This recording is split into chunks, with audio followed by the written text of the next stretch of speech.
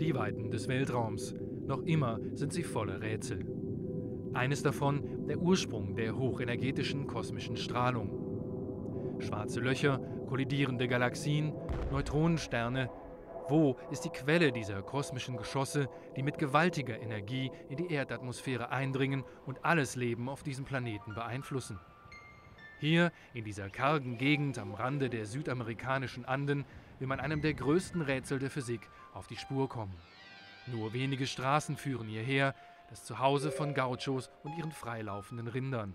Bis zu 5000 Metern türmen sich die südlichen Anden im Grenzgebiet von Chile und Argentinien auf. Im Schatten der Berge die Pampa. Hunderte Kilometer nichts als Gras und Sträucher, hier und da ein paar herrenlose Pferde. Ein einsamer Ort zur Erforschung der kosmischen Strahlung. In 1938, Pierre Auger discovered that when one measured coincidences, uh, simultaneous cosmic rays with detectors very far apart, he got real signals. I feel we have to measure as carefully as we can within some limits of uh, science and money and so forth, every aspect of each cosmic ray that comes down to us.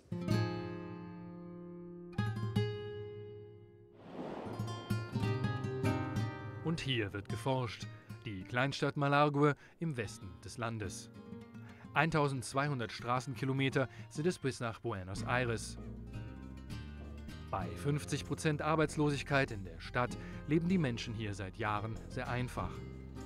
Alte Autos oder Pferde bestimmen das Bild auf kärglichen Straßen. Doch allmählich ist ein Wandel sichtbar. Die neue Jesus-Statue und die Kirche an der Hauptstraße zeugen vom Aufschwung. Mit den Wissenschaftlern von Auger kam wieder Leben in die Gegend. 50 Millionen Dollar wurden investiert, um die Vision von einem Pierre-Auger-Observatorium wahr werden zu lassen.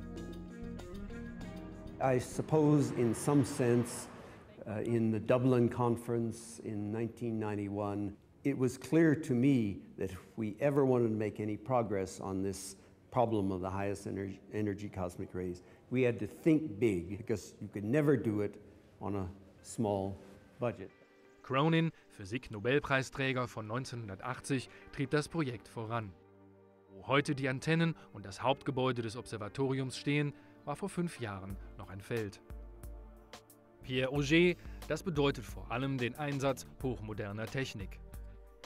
Diese hochempfindlichen Lichtsensoren aus Frankreich, sogenannte Photomultiplier, sind auf der Jagd nach den Elektronen und Myonen in den durch kosmische Strahlung ausgelösten Luftschauern. Sorgfältig werden sie in diese 10 Quadratmeter großen Spezial-Kunststofftanks eingebaut, die später mit hochreinem Wasser gefüllt werden. Das hochreine Wasser verhindert die Ansammlung von Bakterien, die die Sicht für die Lichtsensoren trüben könnte. Zuletzt kommt eine diffus reflektierende Innenverkleidung hinzu. Dann werden die Tanks luftdicht verschlossen.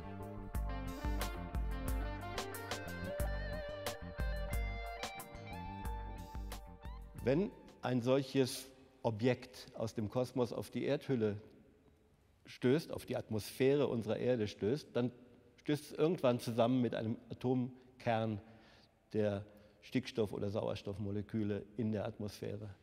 Und dann gibt es Sekundärprozesse, gibt es Explosionen, Kernexplosionen, wenn man so will, wo aus einem Teilchen 100 Milliarden werden. Beim Eindringen in die Tanks erzeugen diese Sekundärteilchen dann einen schwachen Lichtblitz im Wasser, die sogenannte Cherenko-Strahlung, die von den Wänden des Tanks reflektiert und von den Photomultipliern erfasst wird. Die Tanks arbeiten autonom, die Stromversorgung sichern Solarzellen. Die so entstehenden Daten eines jeden Tanks werden über ein modifiziertes Mobilfunksystem an die Zentrale in Malargue gesendet. Nach dem Endausbau werden es 1600 Tanks sein, verteilt über 3000 Quadratkilometer, ein Fangnetz für die Teilchenschauer.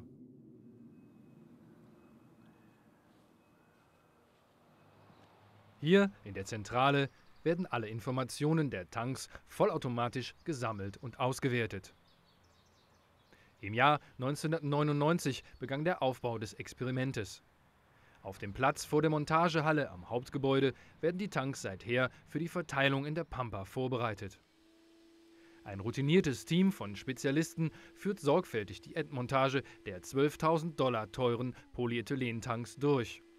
Präzisionsarbeit sollen doch die Tanks ihre Mission unter freiem Himmel 15 bis 20 Jahre wartungsfrei überstehen. Trotz Staub, Kälte und der sommerlichen Hitze draußen in der Pampa. Zu je vier Stück werden sie dann auf einen Truck verladen. Der Weg nach draußen in die Pampa beginnt. Die gelbe Farbe der Tanks, eine Vorschrift der Regierung. Das Experiment soll sich so gut wie möglich an die Natur anpassen.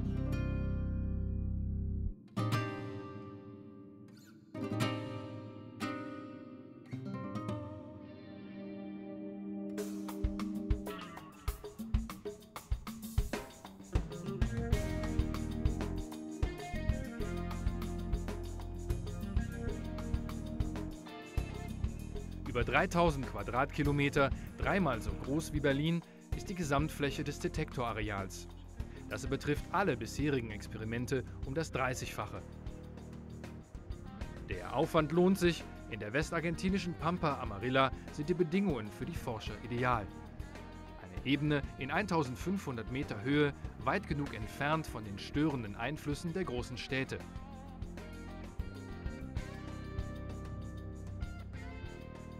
Das Projekt schuf auch Arbeitsplätze für die Fahrer der Trucks.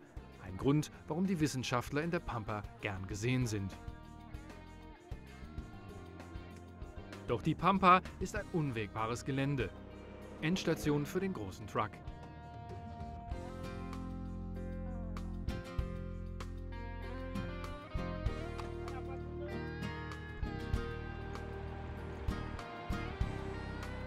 Die Tanks müssen umgeladen werden 400 Kilogramm bringt jeder auf die Waage.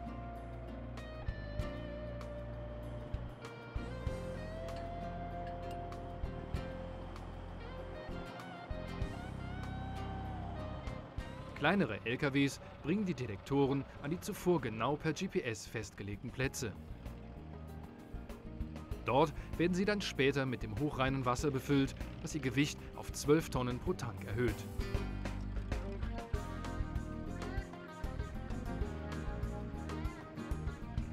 Höchstenergieteilchen sind so selten, dass nur eine möglichst große Fläche wissenschaftliche Erfolge in kurzer Zeit verspricht. Of course, I'm delighted that uh, we've made so much progress. And uh, of course, it's been a long effort over 13 years. And it's not finished yet. We have one more year to go, but we felt we're far enough along. Nothing can stop us now. Mitte November 2005 die offizielle Eröffnungsfeier des Pierre Auger Observatoriums. Man ist sich einig, der Nobelpreis von James Cronin hat dem Projekt entscheidend den Weg geebnet, Türen geöffnet, 16 Regierungen dazu bewogen, die Mittel zur Verfügung zu stellen.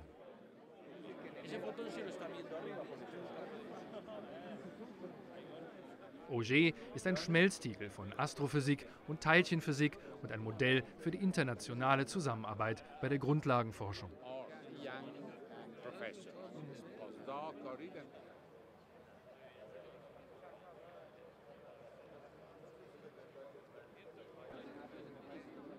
We in science are extraordinarily lucky that governments who have responsibility to all the people still feel that basic science, the kind of science that you can never be sure is going to have any practical value, yet has the even deeper practical value and human value of understanding nature, all our surroundings, the small things, the big things, and so forth. And Auger is indeed part of that.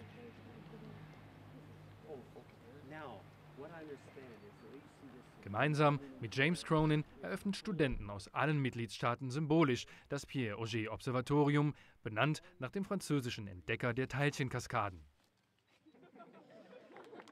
In einer beispielhaften Zusammenarbeit konzentrieren mehrere hundert Wissenschaftler am Pierre Auger Observatorium ihre Kräfte auf die Lösung eines der großen Rätsel der Physik.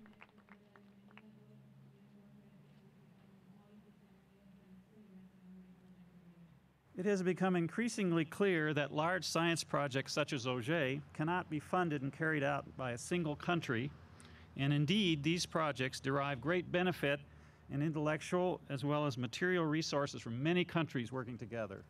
Der deutsche Anteil beträgt 20 Prozent.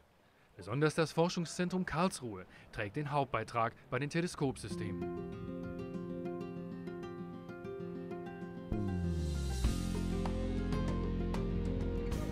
Deutsche Physiker Johnny Kleinfeller lebt seit Jahren in Malargüe. Er leitet den Bereich Fluoreszenzteleskope.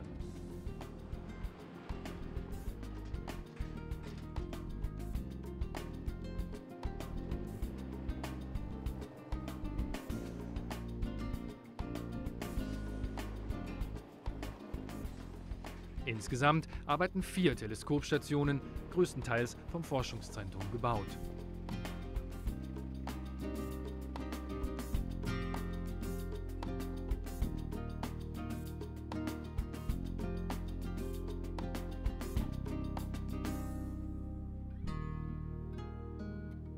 Station Los Leones steht auf einem Vulkanhügel und überblickt das Tankareal vom Süden her. Jedes einzelne Teleskop hat einen 180 Grad Sichtwinkel. Noch in 40 Kilometer Entfernung können damit fluoreszierende Leuchtspuren kosmischer Einschläge beobachtet werden.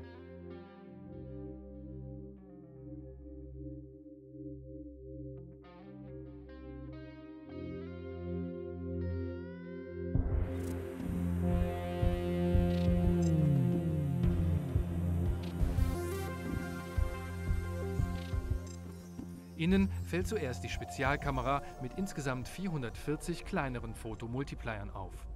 Dahinter ein 14 Quadratmeter großer sphärischer Spiegel.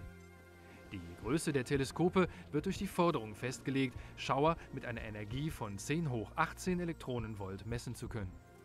Normalerweise wird hier mit Hochspannung und in völliger Dunkelheit gearbeitet, um den Rätseln der kosmischen Beschleuniger auf die Spur zu kommen. Ein großer Teil der kosmischen Strahlung kommt aus unserer Galaxis. Aber die Strahlung, nach der wir suchen, das Ende des Energiespektrums, da wissen wir nicht genau, wo sie herkommen. Aber der Grund ist, wir wissen nicht, wie man diese, diese Teilchen auf diese hohen Energien beschleunigen kann. Nur mit diesem gewaltigen Aufwand kann eines Tages die Frage geklärt werden, wer die kosmischen Hochenergieteilchen hervorbringt.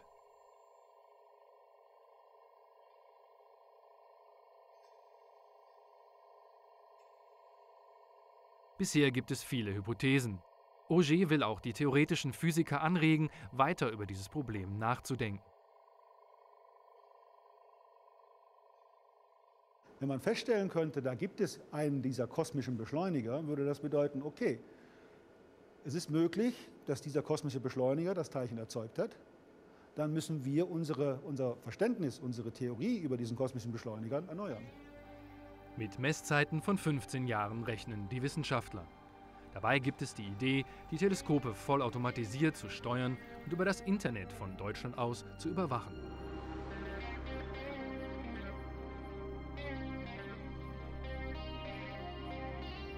Mit dem spektakulären Sonnenuntergang der Pampa beginnt Nacht für Nacht die Jagd nach den Leuchtspuren der Teilchen.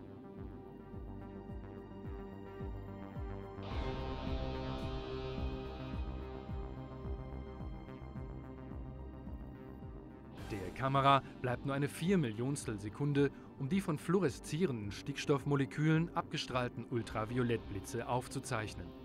Hightech aus Karlsruhe. I had known Hans Blumer because he worked on an experiment on CP violation, which is something I'd done. So I organized what I called a goodwill trip to Argentina and invented, uh, asked Germans and French and uh, Czechs and others, and we all toured uh, to Mendoza, Malague, had interviews with people and so forth.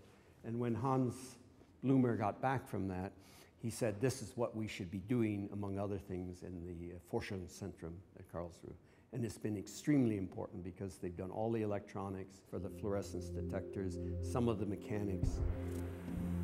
Hier in der Computerzentrale laufen alle Informationen zusammen.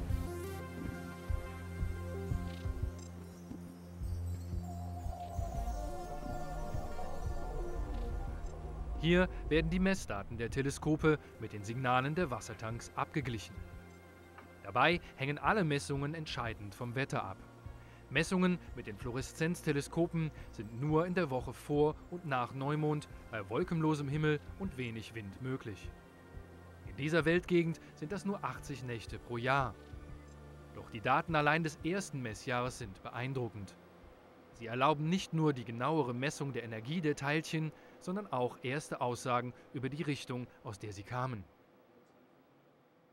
I can tell you for sure we'll measure the energy very well.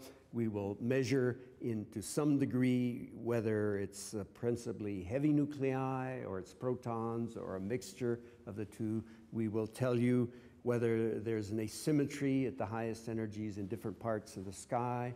We, and uh, these are the kinds of questions we want to answer.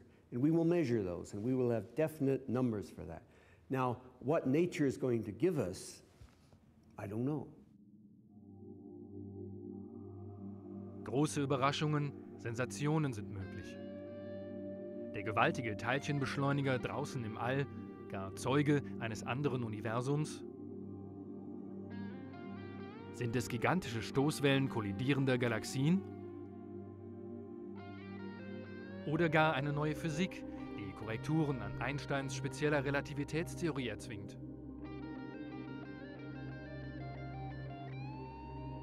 Wie beeinflussen die geheimnisvollen Teilchen aus dem Weltraum unser aller Leben?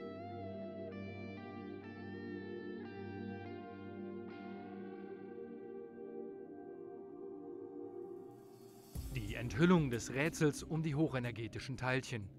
Vielleicht ein Blick in die Entstehung des Lebens selbst? Man darf gespannt sein.